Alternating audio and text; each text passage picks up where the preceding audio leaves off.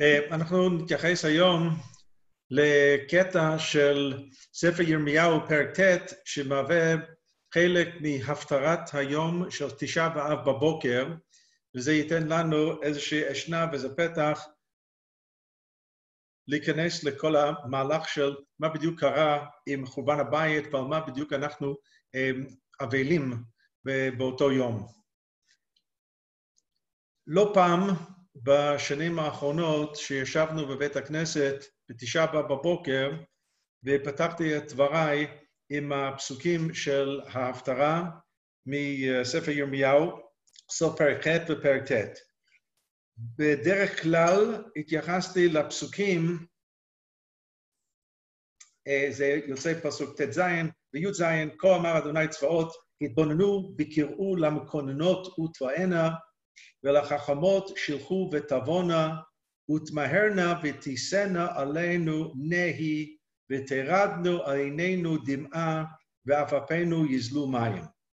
ירמיהו מזמין את הנשים המקוננות, שאנחנו יודעים שבימי הקדם, גם בימי חז"ל זה מוזכר במשנה, שהיו מביאים להלוויות נשים להעלות את כל הבכי כדי לדרבן הרבה בכי בקרב אנשי המשפחה. וכאן ירמיהו מגייס אותם אה, בעלות מקצוע, אפשר לקרוא לזה, נשות המקוננות, לשאת נהי ובכי. ומורנו סולובייצ'יק ז"ל התבטא יותר מפעם אחת ואמר שבפסוק הזה זה לא סתם איזה נרטיב, סיפור דברים של ירמיהו, אלא טמון בפסוק הזה היתר הלכתי מפורש, שעלינו לומר קינות. שירמיהו כנביא בישראל נותן את האור ירוק, את הזינוק, לכל מה שעם ישראל עוד יגיד קינות. גם מהפסוק הזה וגם ממגילת איכה, להעלות את השאלה איכה, איך יכול להיות דבר כזה. אנחנו יודעים שלגבי אבל פרטי, יש עניין של אמ, לשבת בדומייה, אצל יחזקאל הנביא כתוב הענק דום, ואצל אהרון הכהן כתוב וידום אהרון.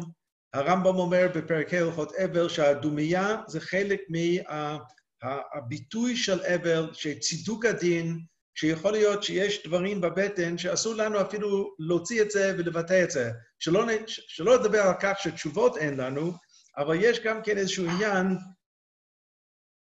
של לסתום את הפה ולא להוציא מהפה את, ה, את, את מה שיש בתוכנו, טענות וכן הלאה. זה לגבי אבל פרטי.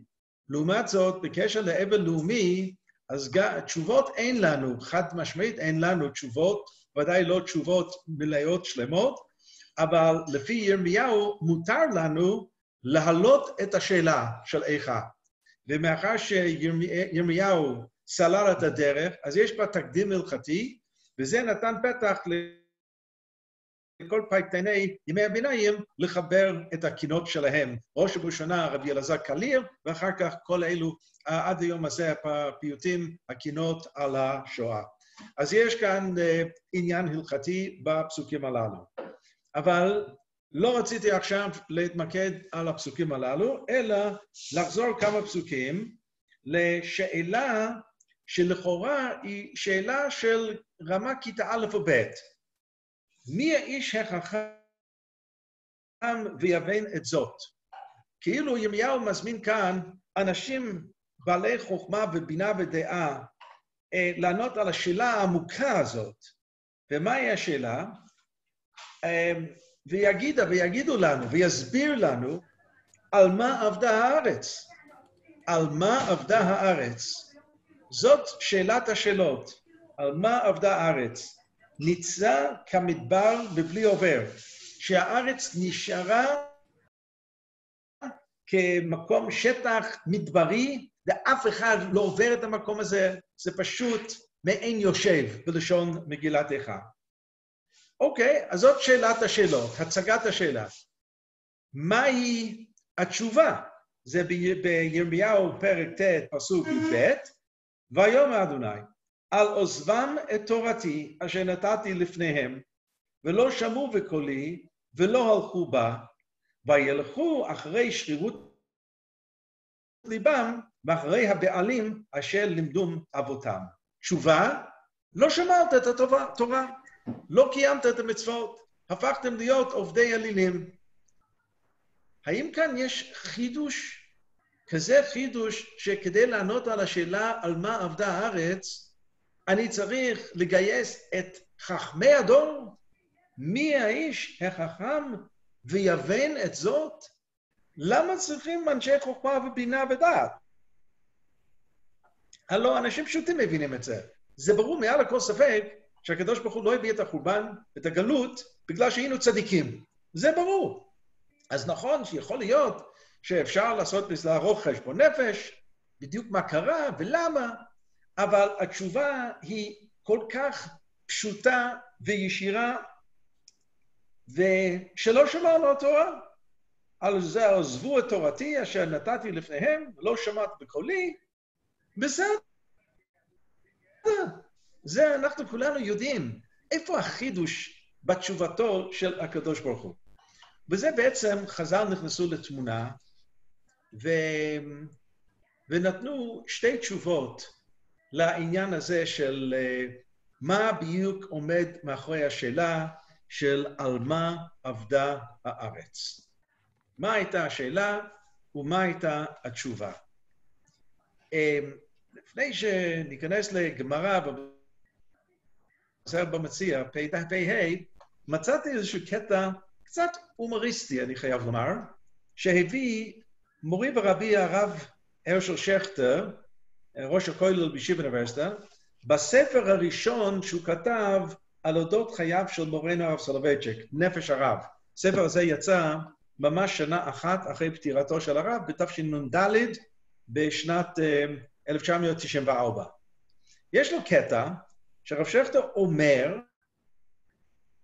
ואני חייב לומר, את זה לא שמעתי ישירות מהרב, אולי, אולי ברמז, ולא יותר, שכשהרב סולובייצ'יק הזכיר את המדינה, מדינת ישראל, ברוב הפעמים, בדרך כלל, היה מדקדק לקרותה או ארץ ישראל או מדינת ישראל. ולא לכנותה ישראל, בשם ישראל. או שהוא קרא לזה ארץ ישראל או מדינת ישראל. אבל לא קרא לזה ישראל. כסגנון, כך כותב כאן רב שכטר, כסגנון לשון החילוניים. מעניין, לא יודע מי ערך סקר, האם יש יותר חילונים מדתיים שאומרים, קוראים למקום הזה ישראל או לא, וכך וכן, ממשיך רב שכטר, כששלח איגרות לארץ ישראל, היה מדקדק לכתוב על הכתובת ארץ ישראל, ולא סתם לכתוב ישראל. ישראל. זה כן שמעתי מהרב פעם בשיעור, הוא אמר את זה, שאני כותב ארץ ישראל. בסדר. על זה מביא הרב שכטר בהערת שוליים סיפור מעניין, אבל זה כל כולו מליצה, של הרבי מסטמה. עכשיו, הרבי מסבתא היה אנטי-ציוני מובהק, כידוע, והוא אמר בקשר לזה שהחילונים קראו לארץ ישראל בשם ישראל בלבד, על מה עבדה הארץ? כלומר, מדוע השמיטו תיבת מילת ארץ של המשנה, ובגמרא תמיד קוראים למקום ארץ ישראל. על זה השיב הנביא ירמיהו, על עוזבם את תורתי. כלומר, מפני שהחילוניים המה, הם לא שומרי תורה ומצוות, לכן אין קוראים לארץ ישראל בשמה שקראו לה במסורת זה כבר אלפי שנה. זאת אומרת, אם אדם לא נמצא בקטגוריה של שומר תורה ומצוות, אז אבדה הארץ. השם ארץ ירדה, ירד מהשם ארץ ישראל, ולכן קוראים לזה ישראל, ישראל. טוב, אני חייב לומר, אני לא מזדהה עם זה, שיהיה ברור, ואפילו רב שכטר הביא את זה כלשון מליצה של הרבי מסטמה, וזה דרשנות אה, מצידו, וזה תואם את שיטתו הכללית על היחס הלא כל כך חיובית למדינת ישראל, כידוע. אבל בואו נהיה רציניים. הגמרא במסכת במציע בדף פ"ה מביאה את השאלה של מי האיש, את הפסוק, מי האיש החכם ויבין את זאת, ואת שאלת על מה עבדה הארץ. על זה הגמרא אומרת, החכמים לא בדיוק פרשוה, הם לא פרשו על מה עבדה הארץ. אין לנו תשובה חד משמעית, וגם נביאים אמרו את הפסוק הזה ולא פירשו. אין לנו פירוש. לא, ירמיהו לא הביא אותנו להבין לעומק מה זה על מה עבדה הארץ. עד שפירשו הקדוש ברוך הוא בעצמו. הקדוש ברוך הוא עשה את הפירוש, שנאמר, ויום השם על עזבם את תורתי אשר נתתי לפניהם. כמובן, זה הכי הכי פשוט, רק לצטט את הפסוק ולהגיד שעזבנו, שהקדוש ברוך הוא אומר, עזבתם את תורתי, אנחנו נצטרך להעמיק עכשיו, ומה בדיוק אמר הקדוש ברוך הוא, מהי התשובה. אבל מה שמעניין זה התשובה השנייה בגמרא, אמר רב יהודה בשם רב, שלא ברכו ברכת התורה תחילה. גם את זה התייחסתי לא מעט, אני לא רוצה להרחיב בדיבור, על מה המשמעות של הדבר שבני ישראל למדו תורה, אבל לא ברכו ברכת התורה לפני כן, וזה קשור לעניין של אה, לימוד תורה לשם מצווה. שיש כאלה שלומדים תורה בגלל שנהנים מזה, ואין לזה שום קשר לקיים את המצוות, אבל באמת כעיסוק אינטלקטואלי זה מאתגר וזה מושך, ושמעתי שאפשר גם כן להוציא תואר שני ותואר שלישי ולהיות פרופסור, וכל מה שיש במדעי היהדות, אבל אין משום ברכת התורה. זה בעצם מה שחז"ל רצו להגיד, שיש כאן עניין של עיסוק בתורה ללא קשר וזיקה למצוות תלמוד תורה. וזה זה, זה כבר שיעור בפני עצמו, כיוון שיש מחלוקת בכלל אם ברכת התורה זה דורייתא או דרבנן, וחז"ל אמרו מה שהם אמרו. אבל אנחנו נחזור דווקא לתשובה ראשונה, שלכאורה כל כך פשוטה, אבל אנחנו זקוקים קצת אה, להעמיק. הפרשן בעל מצודות דוד על ירמיהו פרק ט' רוצה להסביר לנו משהו על, על מה עבדה הארץ. ניצתה כמדבר מבלי עובר. על מה אנחנו מדברים? אז הוא אומר, ויגידו מדעתו, בעבור מה עבדה הארץ, ונעשה שממה כמדבר. המילה שממה מאוד מאוד קריטית כאן, כיוון שאנחנו מכירים את המילה הזאת מהתורה עצמה, בפרשיות התוכחה, שהארץ תישאר שממה. מבלי מי עובר שם, שלא, שאין אף אחד שם. שום דבר לא גדל שם, ואף אחד לא נמצא, ריק מאוכלוסייה, מהחיים. רצונו לומר, אומר בעל מצודות דוד, אתה יודע מה עומד מאחורי השאלה של מה עבדה הארץ? מהו הדבר העיקרי בדבר החורבן? בואו נסתכל בפסוק הזה ונוכל להגדיר את היסוד של החורבן, על מה עבדה הארץ. והוא לא נותן תשובה, הוא רק נותן לנו להבין שבפסוק הזה כדאי לעמוד על זה, ולעמוד על זה זמן רב, ולהתבונן, ולחשוב, ולהעמיק. טמון בתוך הפסוק הזה היסוד היסודות של החורבן, או בלשונו, העיקרי, דבר העיקרי בדבר החורבן. המלבם, עוד פרשן, אומר על מה עבדה הארץ, מה בעצם השאלה היא? השאלה היא על אבידת הארץ ושממותה. זאת אומרת, הוא מבין שעם ישראל, אה, הקדוש ברוך הוא הגלה את עם ישראל לגלות, אבל למה להרוס את הארץ? מה, מה עשתה הארץ? הארץ חטאה? והשאלה על אבידת הארץ ושממותה, עד שדומה שה... שעבדה מן היישוב לגמרי, שאין שום סיכוי להתנחל ולהתיישב במקום הזה. זה, לא, זה לא מקבל כבר תושבים. כי הגם שעונש השם, ענש השם את ישראל בעבור עוונותיהם, טוב, זה אנחנו מבינים, ש, ש, שהגלות באה בגלל העוונות, לא היה ראוי שתאבד הארץ לגמרי, שהארץ תהיה אבוד, בלשוננו. זאת אומרת, על מה אבדה הארץ? זה לא פשוט uh, מדוע אנחנו הפסדנו את ארץ ישראל. כך בדרך כלל קוראים את הפסוק. על מה עבדה הארץ? והנה ארץ ישראל לארץ... עם ישראל, והנה אין עם ישראל, ולכן עם ישראל, ארץ ישראל הלכה לאיבוד מבחינתנו. וכאן המלבם אומר שהארץ עצמה הלכה לאיבוד, הארץ, עד שלא תהא ראויה ליישוב כלל. אין לזה שום אפשרות להתיישב שם. שזה מורה שקצף עליהם, הקדוש ברוך הוא האחרון אף, הכעס, קצף עולם, ואין להם תקווה עוד לשוב אל ארצם כשיטיבו מעשיהם. הרושם הוא שאין חזור. אתם יצאתם לגלות, גמרנו. כאילו ארץ ישראל לא רוצה לראות אתכם אה, בעתיד.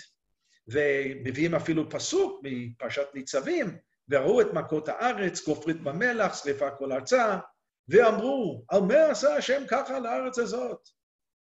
וזה מה שכתוב בירמיהו, על מה ניצתה כמדבר, עד שאינה ראויה ליישוב כלל. אז כאן המלבם מעמיק קצת במושג הזה, עבדה הארץ, שבעצם העונש הגדול זה לא רק שבני ישראל לא נמצאים בארץ, אלא שהארץ עצמה סובלת מאובדן זהות, אפשר לומר, וקיום עצמית. כשאנחנו חושבים, מתבוננים בנושא הזה של שממה, זה מזכיר מיד את עניין של תוכחה של פרשת בחוקותיי, סוף ספר ויקרא, אה, ויקרא פרק כ"ו, והשימותי אני את הארץ, ושממו עליה אויביכם היושבים בה. רש"י אומר, וזו לא הפעם הראשונה שרש"י יעשה דבר כזה, זה נשמע כאילו קללה אדירה, ורש"י יגיד, בשורה היא, זה בשורה היא. דוגמה, דוגמה, אה, נגד צרת על הבית, ורש"י אומר, בשורה היא, זה בשורה טובה, נגע בית, איזה בשורה? אתה צריך פשוט להרוס את הקיר, ויכול להיות להרוס את כל הבית. אז רש"י אומר שם שהאמוריים הטמינו מטמיוניות של זהב בקירות הבית, כיוון שהם חשבו שעם ישראל נכנס, עם ישראל יצא, והאושר שלנו נשאר טמון בתוך הקירות. בא הקדוש ברוך הוא ונתן לנו נגע בית, וחייב אותנו להרוס קיר פה וקיר שם, וגילינו את כל האוצר הזה. ולכן בהתחלה, אוי, איזה טרחה גדולה, נגע בית, צריך לפנות את כל הריהוט וכולי, בסופו של דבר אתה פשוט גומר את ההלל, שהקדוש ברוך הוא בחר בך שתקבל את הנגע בית. אז זה בשורה. זו בשורה סמויה למעשה. והנה גם כאן רש"י מדבר בכזה טון, זו מידה טובה לישראל. מה אתה מדבר? והשימותי את, את הארץ. זה, אין, אין בשורה יותר טובה מזה? שלא יימצאו אויבים נחת רוח בארצם, שתהא שוממה מיושביה. מה, מהי הדאגה? שעם ישראל יצא לגלות, ותבוא איזה עם אחר, ויתחיל להתנחל במקום, ויתחיל להצליח בחקלאות, ויבנה בתים, ויבנה, יקימו ערים,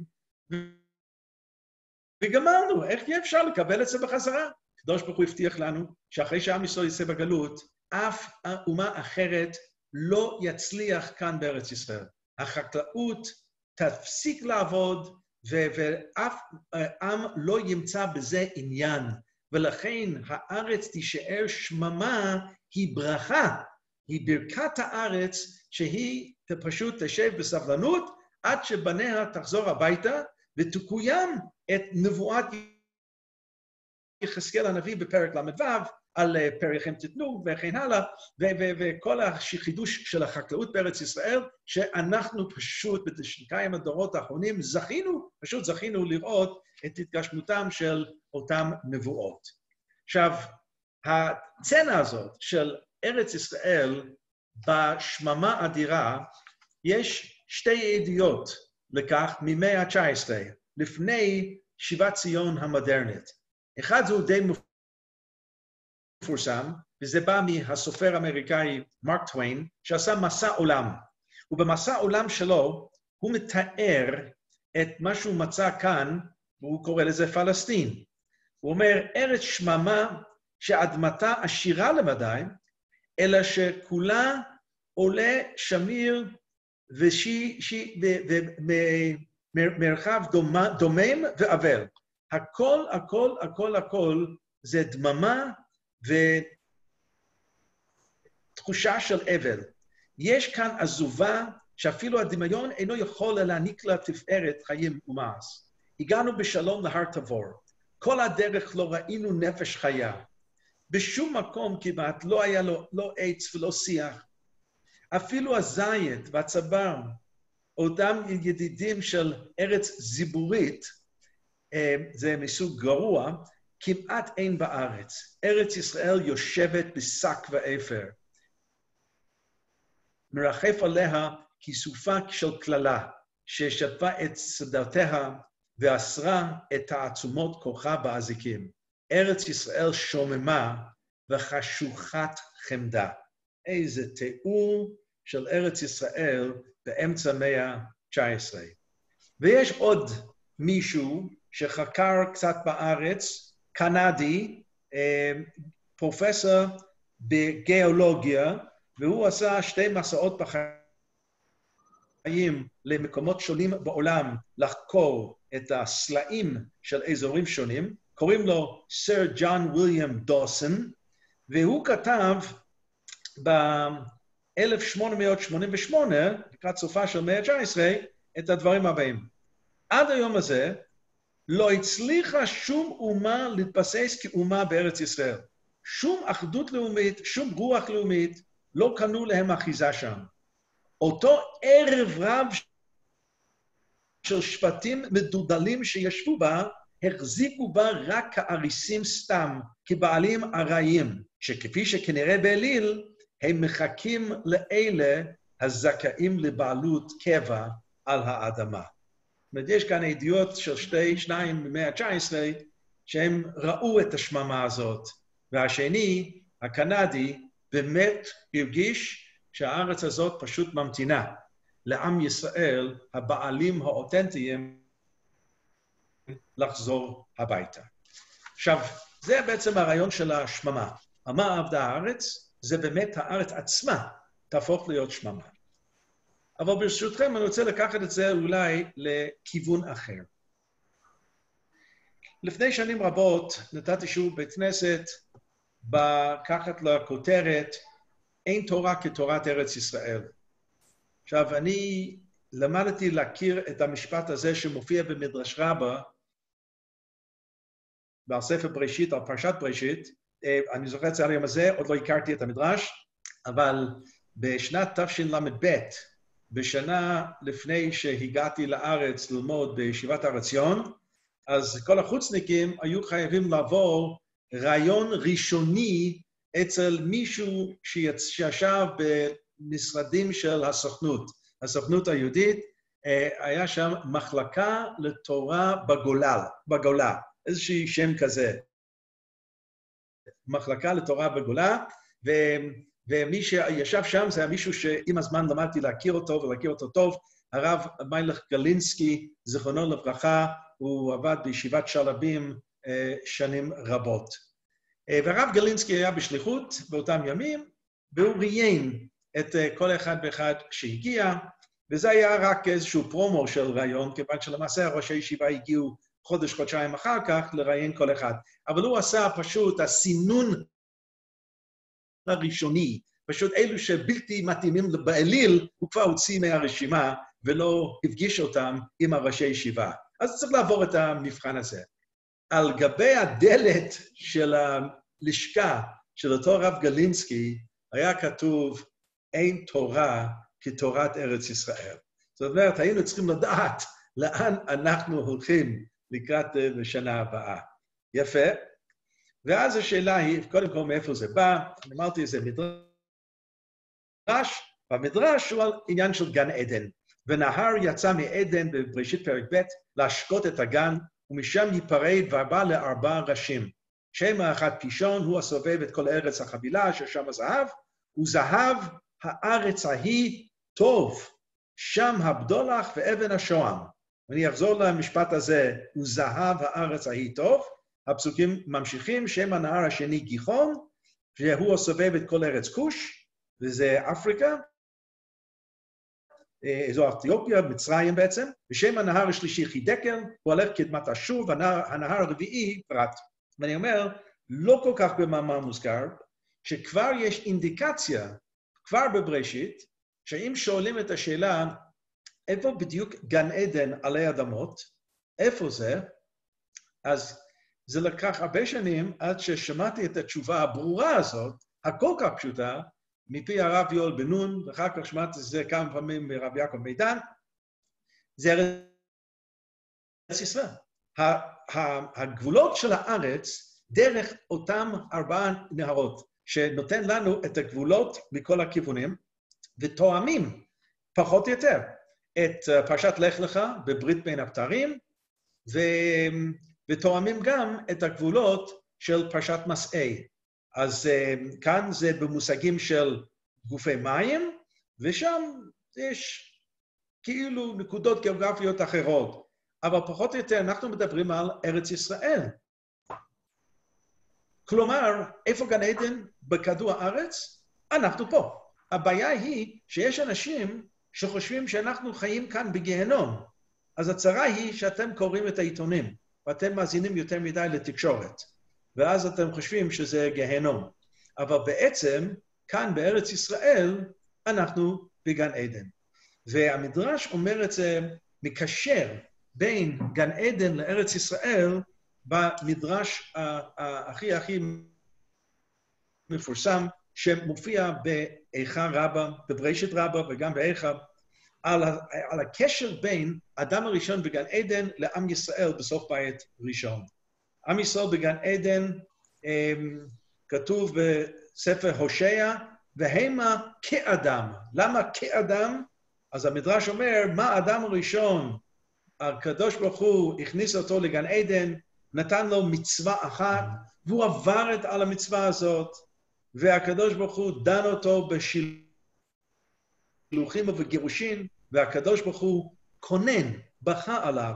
איכה, מאיפה אנחנו יודעים? הוא הכניס אותו לגן עדן, ויניחהו בגן עדן, נתן לו ציווי שנאמר, ויצב השם אלוקים על האדם, הוא עבר על הציווי, ואנחנו מכירים את הסיפור הזה, מן העץ אשר ציוויתיך לבלתו אכול ממנו אכלת, והקדוש ברוך הוא דן אותו בשילוחים, שנאמר, וישחררו את השם אלוקים מגן עדן, והקדוש ברוך הוא דן אותו בגירושין, שנאמר, ויגרש את האדם.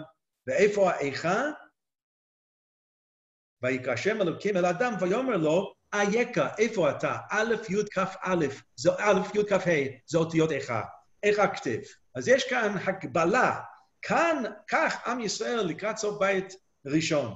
את בניו הכניס לארץ ישראל ונתן לו ציווי, ולצערנו ביטלנו, עברנו על הציוויים. והקדוש ברוך הוא גירש אותנו ושילח אותנו מארץ ישראל, והקדוש ברוך הוא כונן, מקונן על הדבר הזה, איכה ישבה בדת. אז יש כאן הגבלה מאה אחוז בין הסיפור המקראי של אדם בגן עדן לבין סוף ירמיהו, עם ישראל עם הגירוש מארץ ישראל. אז יש כאן, יש כאן למעשה התיאור של עניין הזה של ארץ ישראל, שאולי יעזור לנו בשאלת אין תורה כתורת ארץ ישראל. במה מדובר? אז דבר אחד זה גיאוגרפי. גיאוגרפי אומר שלא משנה באיזה תחום של תורה אני לומד, יש איזושהי סגולה, איזה, אולי איזה סייעתא דשמיא באופן מיוחד, שבן אדם זכאי כשהוא לומד תורה בארץ ישראל. מה הוא לומד? זה לא משנה. זה יכול להיות תורה שבכתב, תורה שבפה, מדרש, אגדה, מחשבת ישראל, הלכה למעשה, לא משנה. יש פה, השם, מקצועות תורה יש המון, מה שהוא לומד, יש הבדל בין הלימוד שלו בארץ לבין הלימוד שלו בלונדון או בניו יורק או לוס אנג'לס או בסידני, אוסטרליה. יש, זה, זה אחד מן הפירושים של אין תורה כתורת ארץ ישראל.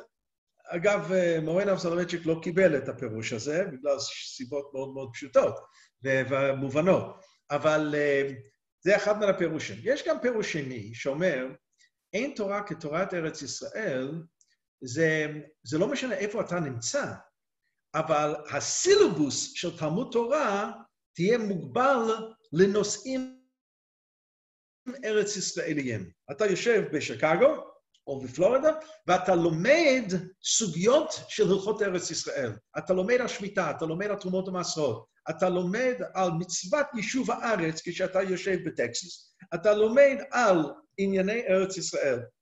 אז, אז אתה עוסק בתחום של תורה שנקרא תורת ארץ ישראל. אז גם זה אפשרי כפירוש, אין תורה כתורת ארץ ישראל, על אף שזה לא כל כך מסתבר שחז"ל היו משבחים את היהודי שנמצא בסין, ששם הוא לומד תורת ארץ ישראל. ובכל זאת, כפירוש אפשרי, זה קיים. יש פירוש נוסף, וזה צמוד לשיטתו של הרמב"ן, שאומר שהקדוש ברוך הוא נתן את מצוות התורה לעם ישראל, כולן, לא רק תרומות המסעות, אלא גם שבת וכשרות והכול, בארץ ישראל. זה עיקר מקום של קיום המצוות. מה שמקיימים חלק מהתורה בחוץ לארץ, זה רק מטעמי חינוך, שכשעם ישראל עוד יחזור לארץ ישראל, לא נצטרך להתחיל עם א' ב', אלא המנוע יהיה משומן היטב, ונדע איך להתפלל, ואיך להניח תפילין, ואיך להקפיד על זה, ואיך להקפיד על זה, ואיך לקיים מצוות שופר, וכן הלאה.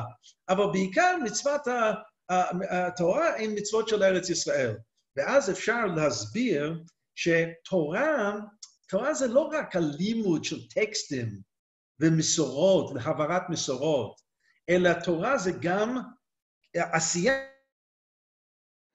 אומרים על תורה, והער איננו בתורתך, ודבק לבין משרדיך, ללמוד וללמד, לשמור ולעשות. זאת אומרת, קיום מצווה זה גם תורה. ולכן, לפי הרמב"ן, איפה העיקר של קיום תורה, ולא משנה איזה מצווה, זה בארץ ישראל. אין תורה כתורת ארץ ישראל. אין קיום מצוות של התורה כמו קיום המצוות בארץ ישראל. זאת שיטת הרמב"ן. אז יש לזה כאילו איזה דרך אחרת איך להבין את המדרש הזה של אין תורה כתורת ארץ ישראל. אבל ברשותכם אני רוצה להציע כאן דרך אחרת, מסביב לשאלת על מה עבדה הארץ. על מה עבדה הארץ? במצוות שמיטה קורה שני דברים. מצד אחד, יש איסורי מלאכה על הקרקע. איסורי מלאכה. מצד שני, איסורי מלאכה חלים על היהודי. היהודי אסור לו לחרוש ולזרוע ולהשקות ולעשות כל הפעולות של השדה שהן מוגדרות של פעולות איסור בשנת השמיטה. אבל נוסף לזה, ושבתה הארץ שבת לשם. הארץ צריכה גם כן לשפוט. אז רגע, רגע, רגע, הארץ לא קיבלה את התורה. הארץ זה לא בר קיימא, בעל חי, שאפשר לתת לו מצוות. מה הפירוש ושבתה הארץ? אז התורה מצווה את היהודי לגרום לכך של ושבת הארץ, שבת השם. עד כדי כך, אחד מן האחרונים זרק לרעיון איזשהו עניין שלמה יש דבר כזה של שנת השמיטה, שבעצם הארץ צריכה לשבות כל שבת. אבל כשהחקלאי עובד על השדה שישה ימים, הוא לא יכול להגיד לשדה, תפסיק לעבוד בשנת, ביום השביעי, זה לא ילך. אז תעשה חשבון כמה שבתות יש בכל שנה, 52 שבתות. אז תעשה כפול 6, 52 כפול 6, אתה מגיע ל-312, ותוסיף גם את ימי החג. מן התורה יש שבעה ימי החג. יום, שניים פסח בהתחלה בסוף, שניים סוכות בהתחלה בסוף, שבועות, עוד אחד זה חמש, ראש השנה מן התורה זה יום אחד, וכיפור זה יום אחד. אז זה שבעה ימי חגים מן התורה. תעשה כפול שש, שבע שנים, שש שנים, תוסיף עוד 42 ל-312. הגעת ל-354. זה בדיוק, בדיוק מספר הימים של השנה על פי לוח העברי, של, על פי הלבנה. ושבתה הארץ שבת לשם, שבמשך שנה שלמה אתה פשוט שם ברקס על האדמה, שלא קיים את מצוות שבת במשך שש שנים האחרונות. מזה אנחנו לומדים שיש איזשהו עניין שהארץ בעצמה צריכה לשפוט, לשפוט. וזה חלק מהעניין, יש כאן קשר וזיקה בין היהודי שמקיים את המצווה לבין החפץ של המצווה, בקשר לשמיטה, זה באמת האדמה. וגם לגבי תרומות המסרות וכל מצוות התחתיות בארץ, שזקוקה לקדושת הארץ וצריכים רוב עם ישראל בארצו, כדי שהמצוות האלו יהיו בתוקף, רואים שיש קשר וזיקה בין העם לבין הארץ. וזה ייתן לנו איזשהו הסבר, הסבר ש... שחשבתי שאולי יש בשום איזה חידוש. במסכת כתובות, לקראת uh, סוף המסכת, יש סוגיה על ארץ ישראל. כל מיני מאמרי חז"ל מאוד מפורסמים, אני חייב לומר, נמצאים שם, והכל מסביב להלכה, מה קורה במסגרת חיי נישואין, בעל ואשתו, שנמצאים בחוץ לארץ, ורק אחד רוצה לעלות לארץ ישראל. ובלשון המשנה, הוא רוצה לעלות והיא לא רוצה לעלות. או הפוך, הוא לא רוצה לעלות והיא רוצה לעלות. אז המשנה אומרת, זה דברים מאוד מאוד חריפים, שהצד שרוצה לעלות, בין אם זה הבעל, בין אם זה אישה, יכול לכפות על הצד השני גירושין. זאת לא אומרת שהם לא חייב, חייבים לעשות את זה, אבל יש להם ברירה, יש להם אפשרות הלכתית לתבוע את השני בגירושין. אז אם זה הבעל שתובע את אשתו, כיוון שאשתו מסרבת לעלות איתו לארץ, היא מפסידה את דמי הכתובה כקנס. ואם זה הפוך, שאישה מעוניינת לעלות, והיא תובעת בבית דין שהם ידאגו שהבעל ייתן לה גט, הוא יצטרך גם לשלם לה את מלוא דמי הכתובה. זאת אומרת, מי שרוצה ארץ ישראל, ידו על עליונה. זאתי ההלכה. אז השאלה היא, האם הדין הזה בתוקף בימינו, כן או לא? אני יכול לפתוח עם דברי הרמב"ם, שהתשובה היא כן. הרמב"ם אומר שהדין הזה הוא בתוקף גם בימינו אנו. אבל בעלי התוספות מביאים שיטה שבזמננו אנו, אה, הדין הזה הוא לא בתוקף, והתשובה היא, והסיבה היא, אומרים בעלי התוספות, אינו נוהג בזמן הזה, דעיקר, דעיקר, יש סכנת דרכים. זה מסוכן. ובגלל שזה מסוכן, אתה לא יכול לכפות על הזולת שלא רוצה לעלות, אה, להסתכן. בגלל השיקול הזה, אוקיי, בסדר. אה, ואחר כך יש שיטה שנייה, בשם אחד מבעלי התוספות, רבנו חיים כהן, הוא אומר דבר ממש מוזר, כל כך זה הקפיץ פיוזן של חלק מהאחרונים, שעד כדי כך חלק הגיעו למסקנה שאותו רבנו חיים כהן אף פעם לא אמר את זה, אלא זה היה איזשהו תלמיד טועה, שגלגל לדברי התוספות. אבל מה כתוב כאן? שאינו דעכשיו, בימינו, אינו מצווה לדור בארץ ישראל, אין בזה שום חובה לגור בארץ, כי יש כמה מצוות התלויות בארץ וכמה עונשים ואין לנו יכולים להיזהר בהם ולעמוד עליהם. זאת אומרת, זה כל כך קשה להקפיד על מצוות התלויות בארץ, ולכן עדיף לשבת באשכנז, בפריז, ואז הקדוש ברוך הוא לא תבוא אליך בטענות למה לא קיימת מצוות שמיטה ויובל ותרומות ומעשרות וכן הלאה. הסיבה שהיו כאלה מגדולי האחרונים, שאמרתי, זה הקפיץ את הפיוזים שלהם, איפה רואים דבר כזה, שבגלל שזה קשה ודורש מסירות נפש, שאתה פטור. הלוא משה רבנו עמד uh, מסביב, uh, בצד השני של הירדן, והתחנן על השם והיית אי לאמור, ומתחנן להיכנס לארץ ישראל. במדרש כתוב, מה רצה משה רבנו? לאכול מפריה ולסבול מטובה? לא. הוא פשוט עשה חישוב שיש יותר מצוות לקיים בארץ ישראל, והוא רוצה להיות שם. זאת אומרת, הזריזים מקדימים למצוות, להכניס את עצמנו למצב להיות חייבים במצוות. בא ירמיהו הנביא ואומר על מה עבדה הארץ. מהי הקללה הגדולה כאן? שארץ ישראל איננה מסוגלת לקבל על אדמתה את קיום המצוות. אנשים לא יכולים, עם ישראל נמצא אי שם בעולם, והיא פשוט אה, כאלמנה, כפי שירמיהו באיכה מתאר, היא לא יכולה לקבל את המצוות. היא עבדה.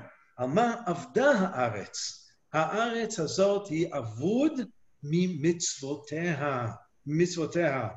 ומה שאותו רבי חיים כהן אולי רצה להגיד, ואני עכשיו פשוט מלמד זכות, לא שהוא אמר, בגלל שזה קשה לקיים מצוות, עדיף לשבת בבית בפריז ואתה לא תהיה חייב בדבר. חס ושלום.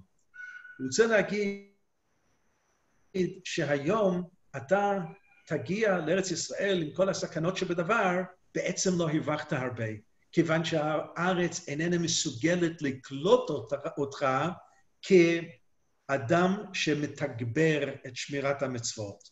ארץ ישראל צריכה להיות במצב שהיא תהיה מוכשרת לקבל תוגבור במצוות. ואיך הדבר הזה בא לידי ביטוי? על ידי עלייה מסיבית של עם ישראל לארץ ישראל. זאת אומרת, אם אנחנו היום במצב של 46% של כלל ישראל בארץ ישראל, וזה הרבה יותר טוב ממה שהיה אי פעם בתולדות עם ישראל אחרי חורבן בית ראשון, ואפילו אחרי גלות עשרת השבטים, כמאה ועשר שנה לפני חורבן בית ראשון. לא היה דבר כזה, רוב עם ישראל בארץ ישראל, כבר 2,600 שנה. והנה, שהקדוש ברוך הוא יברך את, את כולנו בבריאות ואריכות ימים, תוך עשר שנים אנחנו שם. אנחנו נהיה במצב של רוב עם ישראל בארץ ישראל. ואז ארץ ישראל תתחיל להיות מוכשרת לקבל יותר ויותר מצוות מן התורה. כלומר, כלומר, אנחנו עוסקים כאן במה, על, מה, על מה עבדה הארץ, והתשובה של ירמיהו עכשיו מתחיל להיות, מתחילה להיות מובנת. שלא שמעו בקולי, עזבו את תורתי. יש כאן עניין של עזיבת התורה, ואתם לא מקיימים את המצוות. למה לא מקיימים את המצוות? בגלל שאם אתה לא שם, בארץ ישראל, בתנאים אופטימליים, אתה בכלל לא חייב בעניין הזה של מצוות. עם ישראל צריך לראות את הדבר הזה כעונש. כעונש. וזה עניין של על מה עבדה הארץ. אז מהו הפתרון? אז יש תלמוד בירושלמי, במסכת חגיגה, סיפור שהברייתא שרבי שמעון בר יוחאי מביא, והוא אומר, אם ראית עיירות שנתלשו ממקומן בארץ ישראל, ראית מקומות שנחרבו, דע, שתדע, שלא יחזיקו בשכר סופריהם ומשניהם. זאת אומרת, מלמדים של חומש, תנ"ך ותורה שבעל פה משניות. הם לא דאגו לחינוך הילדים. איך אתה יודע את זה? מה הייתה עימה? בגלל שכתוב, על מה עבדה הארץ, ניצתה כמדבר מבלי יושב. והיום השם על עזבם את תורתי. זה כאילו דרש של רבי שמעון יוחאי, שירמיהו מדבר על כך שזה סימן מובהק למה שקרה, שאין תורה, אז אין זיקה לארץ ישראל. בא הסיפור הבא, רבי יהודה הנשיא שלח לרב חייא ולרב אסי ולרב עמי, הוא שלח משלחת לבקר בעיירות בארץ ישראל, לראות ולדאוג שיש לכל עיר בישראל אנשים, מורים, שמלמדים לילדים את התורה ואת המשנה. אז הם הגיעו לאיזשהו מקום ולא מצאו, לא מלמד לתורה ולא מלמד למשנה. שאלו את, ה, את המנהיגים שם, אייתון לן ניטורי קרתא, תביא לנו את שומרי החומות. שומרי החומות. אז הם הביאו סנטורי קרתא.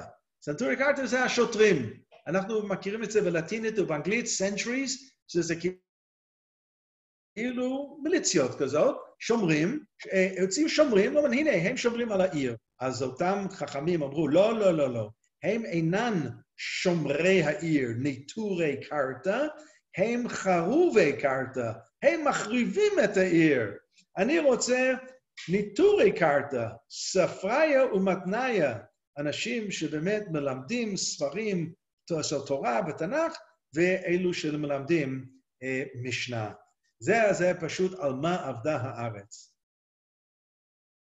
אז מה קורה כשמשהו הולך לאיבוד? אם משהו הולך לאיבוד, אז uh, צריך פשוט לחפש, לחפש.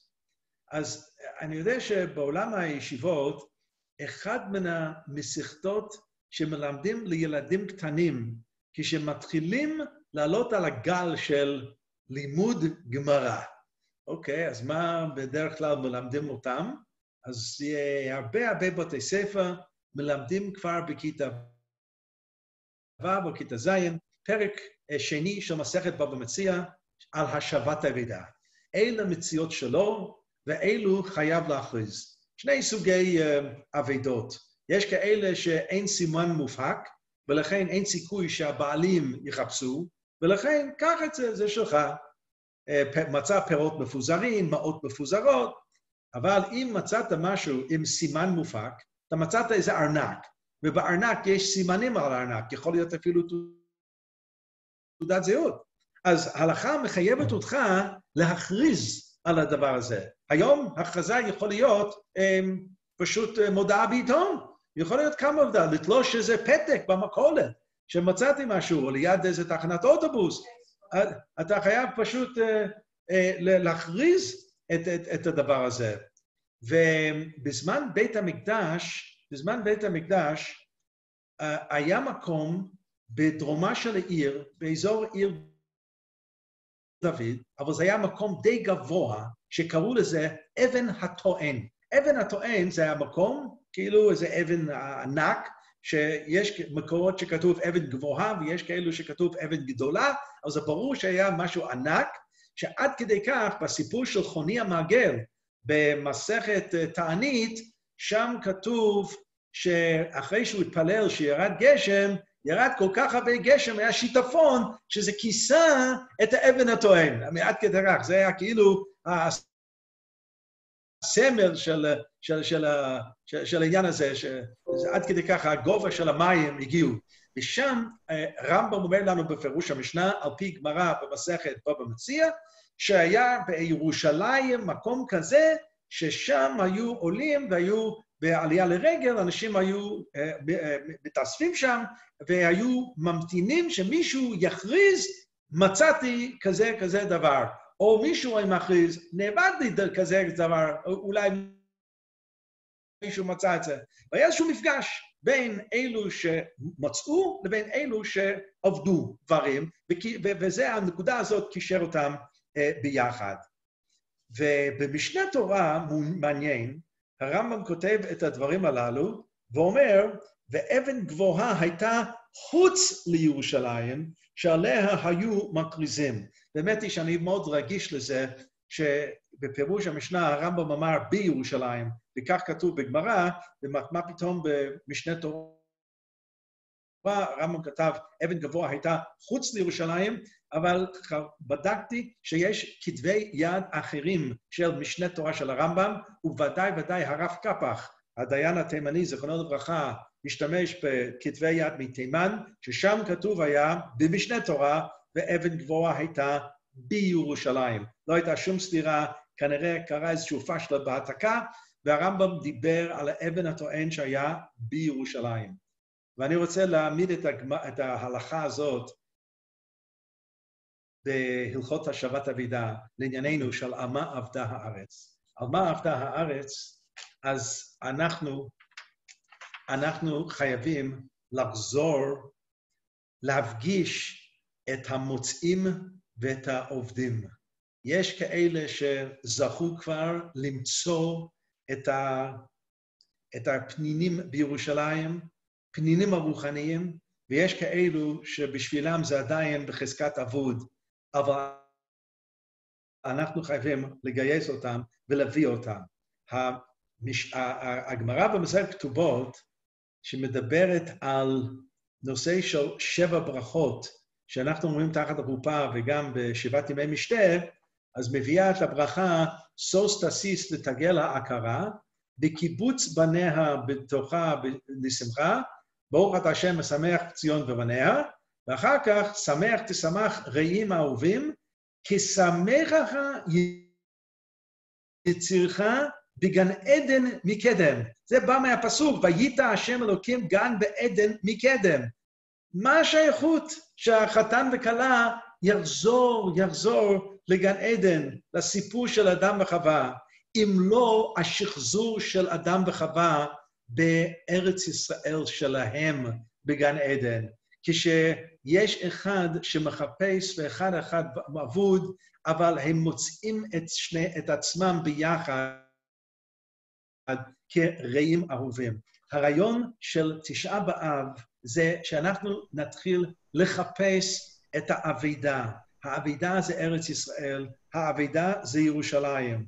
אבן גבוהה הייתה בירושלים, שעליה היו מכריזים. אנחנו כאן בירושלים נכריז לעצמנו וליהדות העולם שכאן זה מקום של המפגש של רעים אהובים. כשעם ישראל יצא מתשעה באב כרעים אהובים, אז כל אחד שכבר עבד לו ארץ ישראל במשך הדורות, יהיה בחזקת אלו שיהיה. שימצא את מקומו ואת חלקו בירושלים ובארץ ישראל בכלל. וזה בשבילנו אה, אה, ההישג הגדול של תשעה באב. העניין הזה של עבדה הארץ השפיע, והקשר לגן עדן, השפיע על עוד סופר אנגלי בשם ג'ון מילטון, והספר שלו, אה, גן עדן האבוד, או בלועזית, Paradise Lost. אני שמעתי על הספר הזה דרך מורנו הרב ליכטנשטיין, שעל זה, הספר הזה כתב את הדוקטורט שלו באוניברסיטת הרווארד, לא פחות ולא יותר. אז לפני כמה שנים במקום אחר נתתי שיעור בשם Paradise Found, לא Paradise Lost. ארץ ישראל, הגן עדן... נמצא. כן, האבוד זה כבר לא בשבילנו. אנחנו בארץ ישראל שהוא כבר בנמצא, בנמצא. והלוואי שכולם נגיע לרמה ובחזקת רעים אהובים כדי שנזכה כולנו למצוא את הגן עדן הלאומי של כולנו.